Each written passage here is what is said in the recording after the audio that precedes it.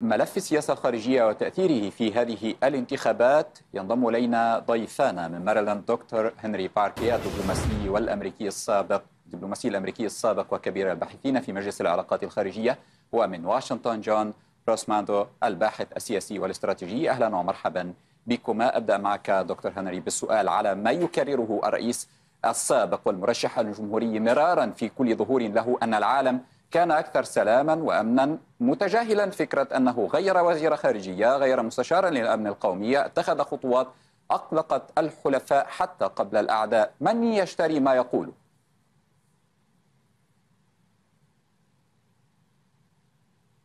You asking me about the Republicans? Um, I wasn't sure. I'm not sure exactly what your question is. I mean, the, the President الرئيس ترامب يقول إنه لو كان رئيسا لم يكن لهذا أن يحصل. لا أعتقد أن حماس كانت ستهتم بما يفكر فيه ترامب و إذا ما كانوا سيقومون بالسابع من أكتوبر أو بخلاف ذلك لا أعتقد أن ذلك كان سيعتمد على وجود ترامب في سدة الحكم أو أو خلاف ذلك. أعتقد أنها أن العالم لن لم يكن ليكون أكثر سلاما وهذا ينطبق أيضا على ما حصل في أوكرانيا.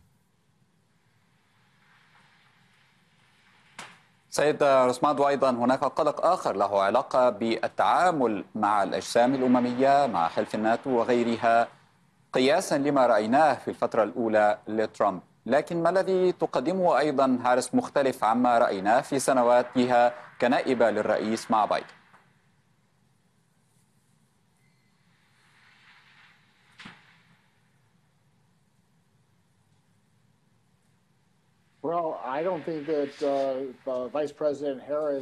نائبة الرئيس هاريس ليس لديها الكاريزما ليس لديها الجاذبية وليس لديها القدرة على الإيفاء بالمهمة.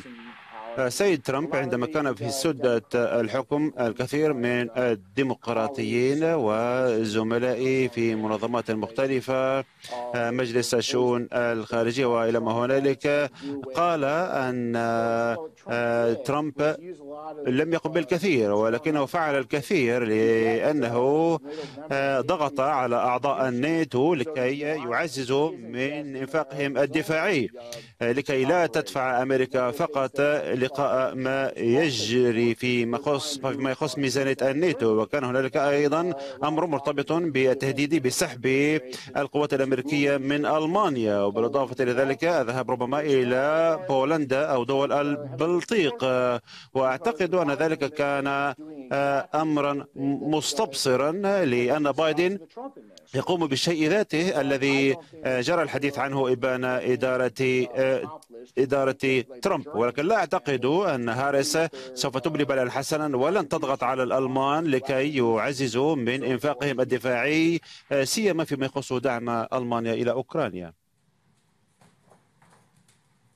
دكتور هنري جانب آخر له علاقة بهذه السياسات الخاصة بالهجرة التي يقول الرئيس السابق أنه سيتخذها حين يصل إلى البيت الأبيض. لها علاقة بتأثير تنفيذ هذه الترحيلات والسياسات الخاصة بالهجرة على علاقة الولايات المتحدة بدول الجوار وبغيرها من الدول التي يخطط أن يضغط عليها لاستقبال طالبي لجوء وغيرهم من الفئات التي سيقدم حظرا وتغييرا للسياسات الخاصة بالهجرة بشأنها.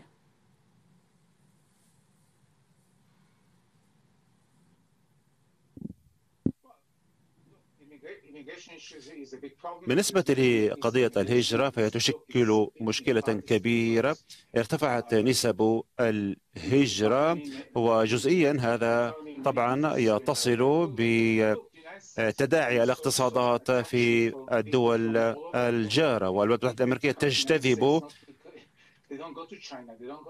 أشخاص من مشارب مختلفة. هم لا يذهبوا إلى أوروبا أو إلى روسيا أو إلى أي بلد آخر. إنهم يأتون إلى الولايات المتحدة الأمريكية حيث حرية التعبير والحصول على وظيفة وإلى ما هنالك. وأما القضية الشائكة فهي ترتبط بالهجرة غير النظامية ويتعين بطبيعة الحال طرق طريقة للوصول إلى حل.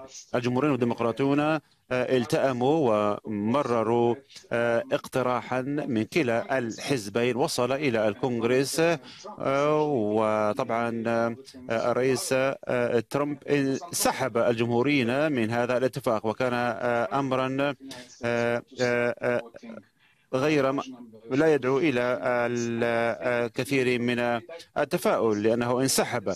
وأعتقد أن أي إدارة سوف سوف تتعامل مع ملف الهجرة ولكنه ملف شائك. ولكن أين سيرسل هؤلاء؟ هل سيوضعون على السفن ويرحلون؟ لا أعتقد أن ذلك سيحصل.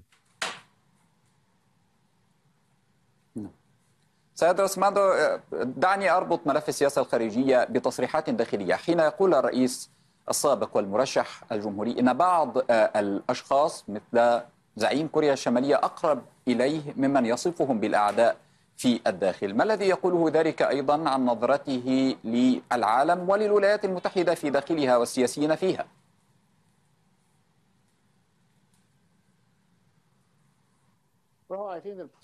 أعتقد أن الرئيس ترامب يؤمن بأنه يتعين التواصل مع الخصوم المحتملين. خلال الحرب الباردة الروس كانوا يهددوننا بخطاب مؤجج للمشاعر. تواصلنا مع خروشوف وتواصلنا مع بريجنيف لذلك يجب إرسال رسالة إلى كيم جونغ أون وكوريا الشمالية مفادها أن الولايات المتحدة الأمريكية لن تقلب نظام الحكم ولن تغزو البلاد. وهذا ما يبرره كيم جونغ أون لتعزيز برنامجه النووي. هناك أشخاص داخل الولايات المتحدة الأمريكية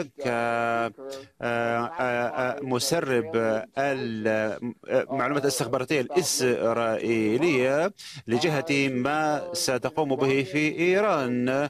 و هنالك حصل ذلك من خلال قناة التليجرام وهنالك أشخاص أيضا أرسلوا بالونات تجسس في الولايات المتحدة الأمريكية في سمائها ودونالد ترامب لم يكن ليسمح بذلك وجو بايدن عندما اعتلى سدة الحكم أسقط الحوثيين من قائمة المنظمات الإرهابية وأيضا حث السعوديين والإماراتيين على وقف حربهم ضد الحوثيين ولكننا ندفع ثمن ذلك الآن. هنالك أشخاص من الداخل يتحدثون باسم العدو الداخلي وباسم العدو الخارجي روسيا أو إيران أو الصين. هناك أشخاص في مجلس الأمن القومي يدعمون طالبان ويرسلون ملايين الدولارات كل أسبوع إلى طالبان وطالبان تعنف النساء. أعتقد هذا ما يتحدث عنه.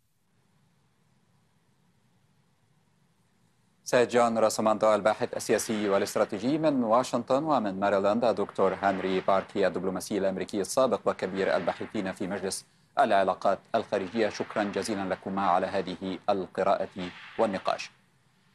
بهذا النقاش نصل إلى